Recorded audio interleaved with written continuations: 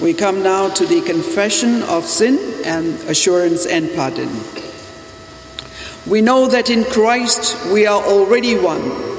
In spite of this, our human weakness has not always led us to witness to this reality.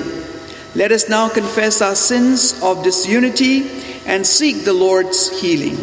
Let us take a moment of silence at this time. Let us together make our confession. In humility, we come to your feet, dear God, as we remember our sinfulness and the disunity for which we have been responsible.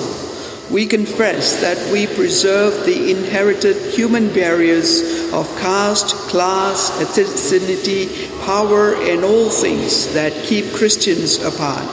We ask for your forgiveness that we have often used our history and our past as churches to discriminate against one another and hurt the unity to which Christ has called us. Forgive us our disunity and help us to continue to strive for unity in the precious name of Jesus, your Son.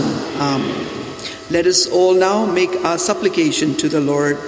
Come now, Jesus, into our midst and heal us and our disunity.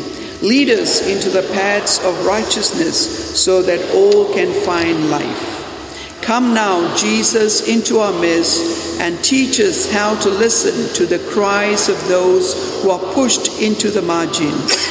Come now, Jesus, into our midst and inspire us to work together with all those who strive for liberation so as to build unity within your broken body. Amen. Let us now hear the good news and the assurance of our pardon. If we confess our sins, he who is faithful and just will forgive us of our sins and cleanse us from all unrighteousness. Amen. Let us now share the peace of Christ with one another.